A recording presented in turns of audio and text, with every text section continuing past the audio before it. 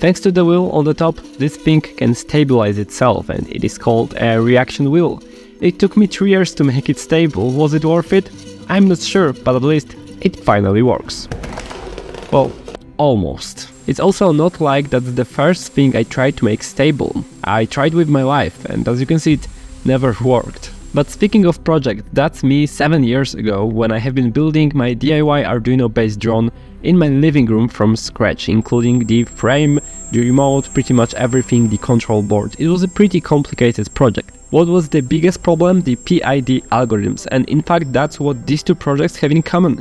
They both contributed to the development of my fear of PID algorithms. I mean, they both need them in order to operate properly. The drone in the end was working okay, and I wanted to do the same with the reaction wheel, at any cost. And I almost failed a few times, but what is a reaction wheel?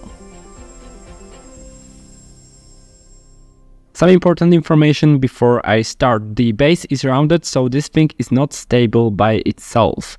As you can see, it falls either to the left or right. But how does it work? To every action, there is reaction, so as the motor is spinning up the wheel with a mass, there is a torque generated and with this torque we can stabilize the reaction wheel.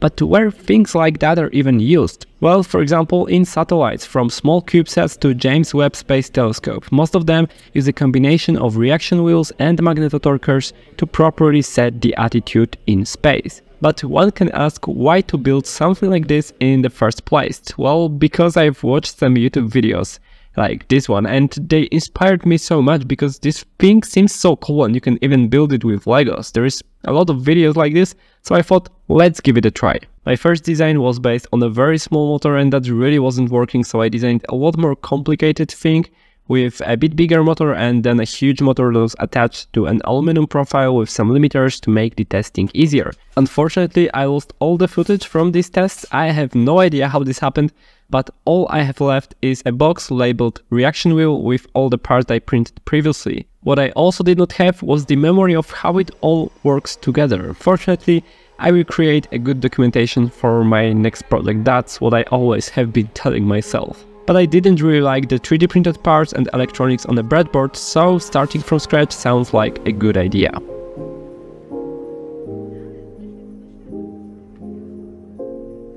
And then sketches were quickly turned into a CAD design that you can see there that was then 3D printed on Ender 3. I still don't have the Bambu Lab machine, but the printing speeds are so tempting that it may change very very soon, but for now Ender works kind of fine. The motor that I'm using there is kind of interesting because it's from a company called Nidec. Nidec, I have no idea how to pronounce it, but it's a brushless DC motor with an integrated driver and encoder. I found someone selling this motor on eBay, but generally those are not easy to find, but might be very useful in your project. I'm not a fan of protoboards, but I'm going to solder quickly one for the reaction wheel, because having all the mess with the cables is going to disturb how the reaction wheel is working, so a quick protoboard is a good solution for that. Protoboards will definitely not make your project look great, but they will make your project work very very quickly and that's the great thing about them. My holes that I designed weren't exactly where they should be, so I just drilled some additional holes with a drill. Me from a year ago would probably redesign and reprint the parts, but right now I prefer to get things done rather than perfect, so I just drilled the holes and then I started the experiments. The wheel that you see, it wasn't just plastic, there were metal nuts placed from the back of the wheel, but I felt like it's not enough, so I also designed another wheel with nuts and screws and higher mass, and that unfortunately was not working too. And then this happened. I made a scratch on my brand new desk and I was very very sad about it, so I decided to give up with the project. No worries, I didn't just simply give up, and while fear of PID algorithms and trying to fix the reaction wheel without any progress might sound funny, there are some serious implications of working on very sophisticated projects. As I spend more time on working and trying to build even better robots, machines and electronics, I see how important it is to not only finish the project, but also take care of my mental health.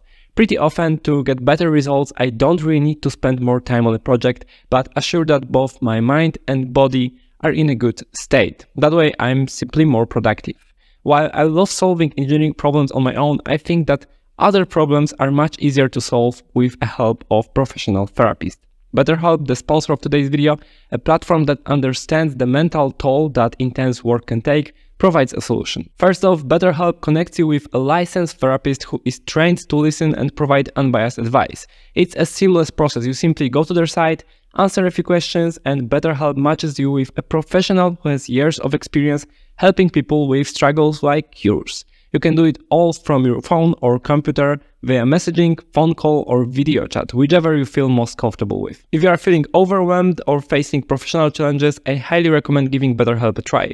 Let them connect you to a therapist who can support you. If you want to try it on your own, click the link in the description or visit betterhelp.com slash nikodem. Using the link is a great way to support the channel, but it will also get you 10% off the first month with BetterHelp. Remember, your mental health matters, especially when you are taking on big projects. Take care of yourself and don't hesitate to reach out for support when you need it.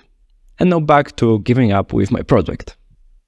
But of course, three days later, I was ready to continue and start again from scratch. I was hoping that lowering the center of mass will help a lot. And there was also a problem. Every time I wanted to change the PID values, I had to connect the Arduino to my computer, modify the values and upload the new program. That was very time consuming and not super easy to do. I think the number of days that one can spend on tuning the PID algorithm is finite. And I think I achieved this number for me and it's around 4 days because for the last 4 days I have been just focused on tuning the PID algorithm, not even programming, not redesigning things in CAD. It was just tuning the PID algorithm. And it's pretty boring, pretty unsatisfactory when it doesn't work and I'm not sure why it takes so long. Maybe I'm doing something wrong. And the most important thing, does it work? Yes, it does. It is stable. It is not as perfectly stable as I would like it to be, as you will see in a moment. The wheel speeds up and it's not really able to control the position that precisely, but it does work. It was a fun project. I'm really happy to finally see it somehow working, but there is still a lot I can do to make it even better. So maybe I will in the future, but right now I'm done with reaction wheels for a while. But of course, three days later, I wasn't, and I decided to finally fix the problem with uploading the program over and over and over again by simply adding a Bluetooth module to the Arduino. Of course, I thought about it before, but I was too lazy to do it, and now I regret this decision a lot.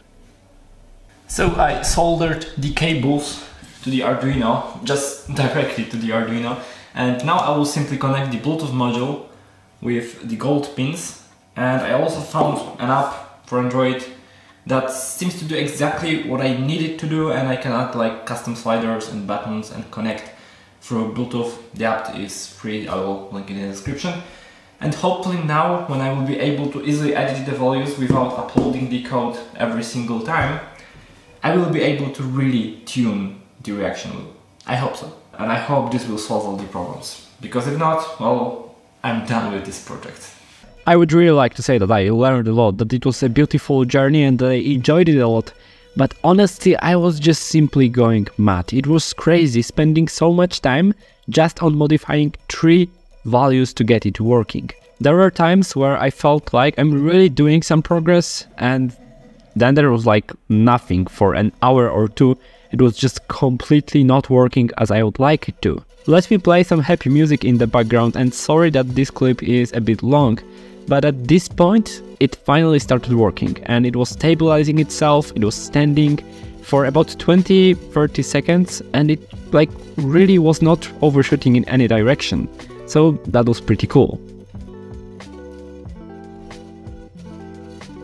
It wasn't easy, it wasn't enjoyable, but at least it worked, with many failures along the way, but failures are good because you have an opportunity to learn something from them.